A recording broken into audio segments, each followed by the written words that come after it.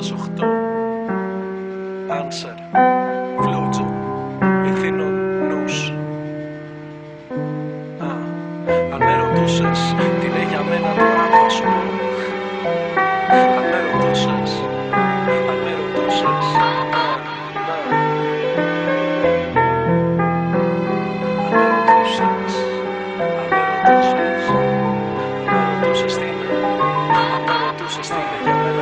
Αν με ρωτούσες τι είναι για μένα το ραπ θα σου πω Πως είναι ό,τι πιο μορφό αντίκρισα στον κόσμο αυτό. Ένα παράθυρο ανοιχτό που μέσα από αυτό Μπορώ να εκφραστώ και να φωνάξω πως υπάρχω. Να δω καθαρά, να γεννηθώ και να πεθάνω ξανά. Μια κρυψώνα στο χειμώνα να κρυφτώ Μέχρι να κάνει ξαστεριά, μέχρι να πιάσουμε στεριά. Ένα αστέρι να μου δείχνει το δρόμο πρωτού χαθώ.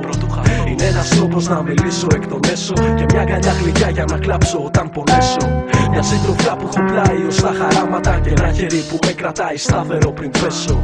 Μέσα στη μουσική μας κρύψαμε τα απόλυτο. Σ' αυτό πιστέψαμε και αυτό εκπροσωπούμε. Κάθε τραγούδι και ένα φρούριο απόρθητο Και μέσα του διαλέξαμε αυθόρμητα να ζούμε. Σε χρόνια δύσκολα, σε χρόνια μπερδεμένα Πολλά πολλούνται κράτησα κάτι μόνο για μένα.